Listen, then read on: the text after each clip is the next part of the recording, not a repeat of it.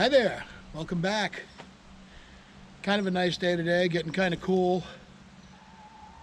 Yesterday was uh, opening day for deer season for youth hunters.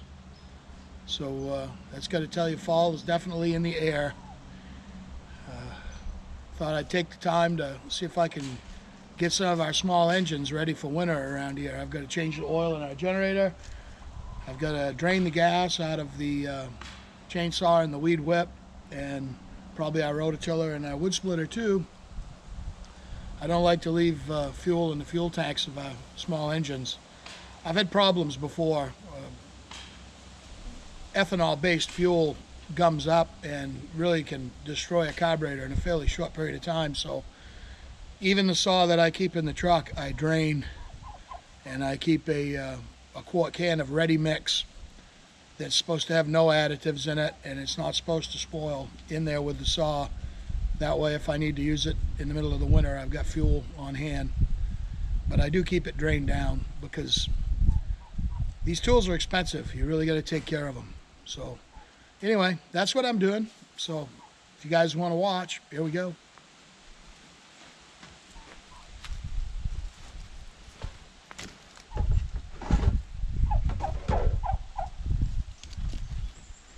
I'm gonna I'm gonna uh, warm this saw up so that I know that I've I've got some gas at least through the carburetor. And uh, I want to make sure I get it all. So when it runs out I want to make sure that it's all gone. So I'm going to start it and warm it up first. That way I'll know I've you know I'm getting good fuel through the machine and give it a shot of oil and gas before I drain it. So that's the plan. My little Stihl MS261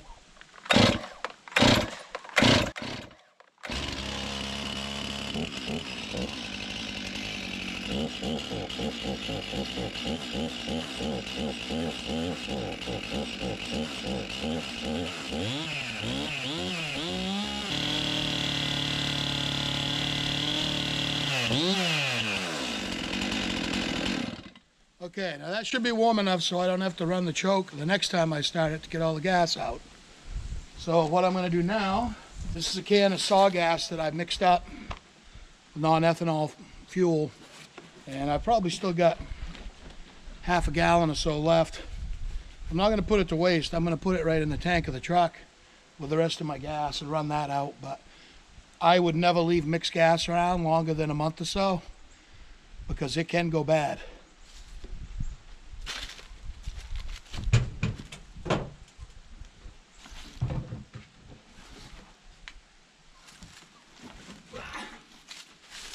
This part can get a little messy.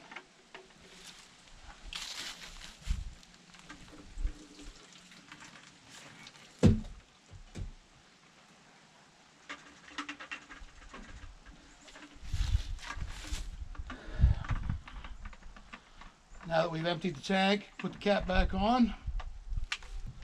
Put the cap back on this just in case. And we'll start the saw and run the carburetor out of fuel.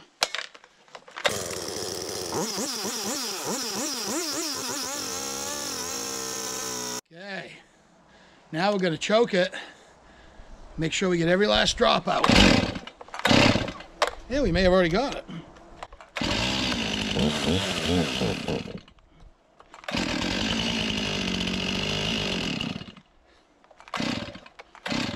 Okay, I'm going to say that is it.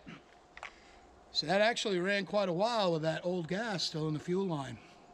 That would be enough because that means your carburetor was full too.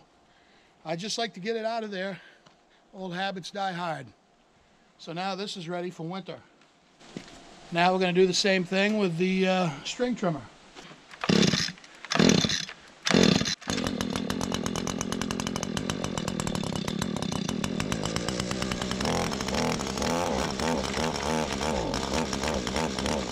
a little cold today. These things don't like to run good right off the bat.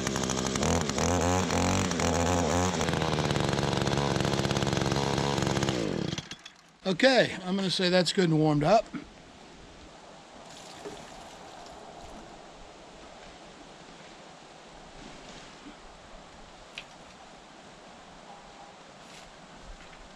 You want to be careful doing this because uh, you're dealing with gasoline and where I warmed these up, the uh, the exhaust is actually going to be fairly warm. So you want to take special care not to get fuel on a hot exhaust. Okay, so now the uh, tank is empty. We're going to fire it up and run the gas out of the out of the uh, carburetor and the fuel line. Hopefully.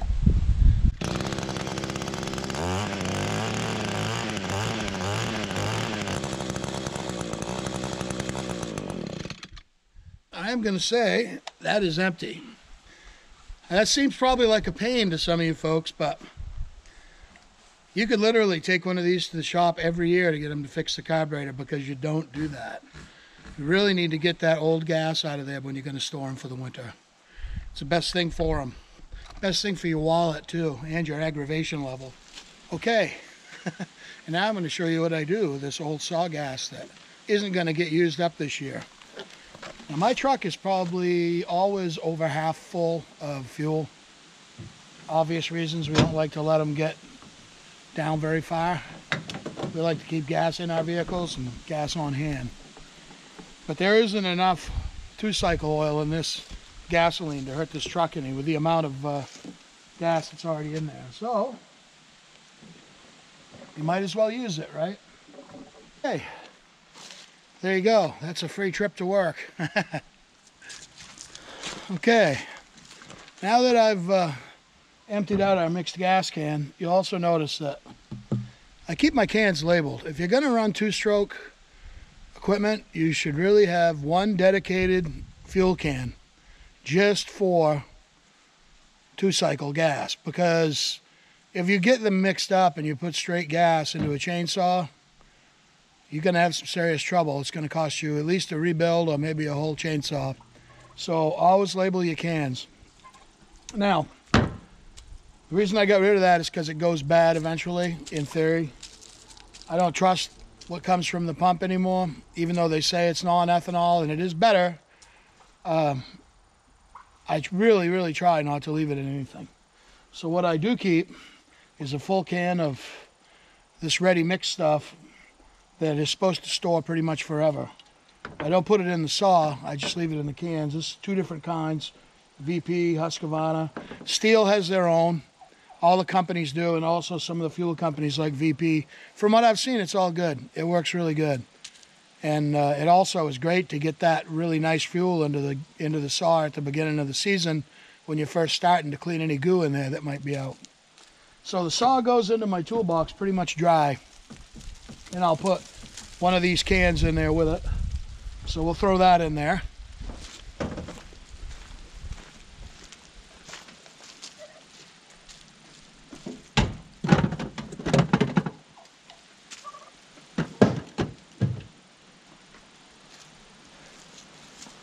Also my, my wonderful turkey keeping me company this morning. I also throw a, uh, a quart bottle of bar and chain oil in there. Uh, I try to make sure the bar and chain oil's enough empty on the saw so the saw doesn't get warm and start leaking bar and chain oil inside my toolbox. You can take a regular oil can from changing your oil in your vehicle and put bar and chain oil in it, label it, and use that. This stuff was on sale at, uh, as you can see, Tractor Supply. So uh, that's going to be what I put in this year. Hopefully I'll never use it, but I'm actually sure I will, either in the driveway or on my trip to work.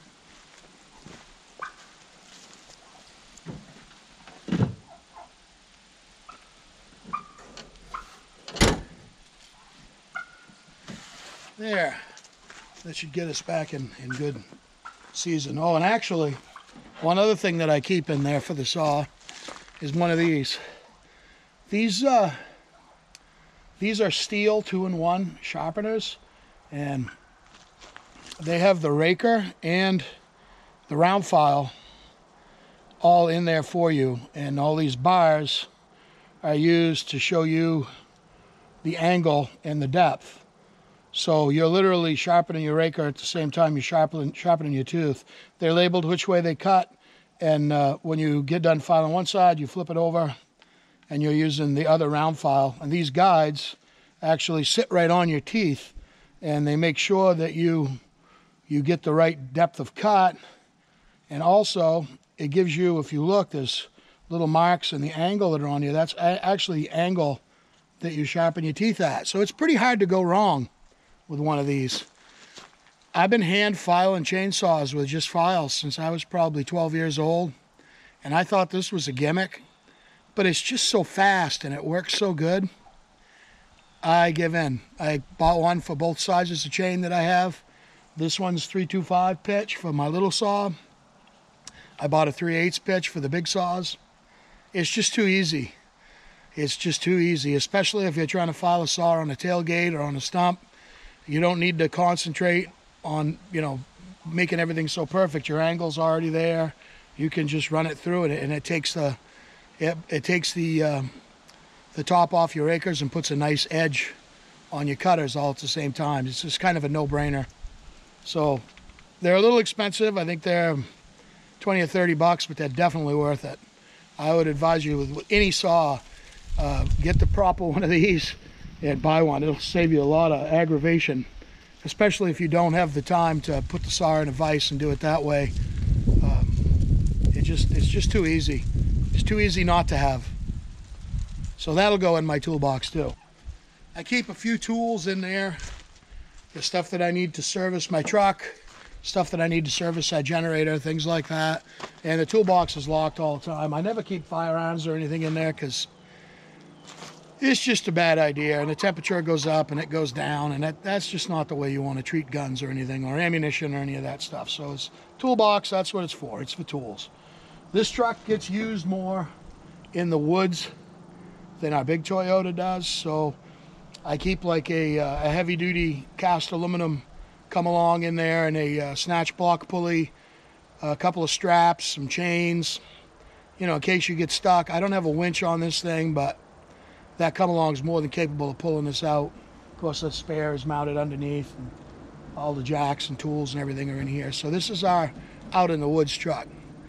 That's why it's got the saw and stuff in it. That and it's it's the one that goes back and forth to town most often because this is the truck that I drive back and forth to work.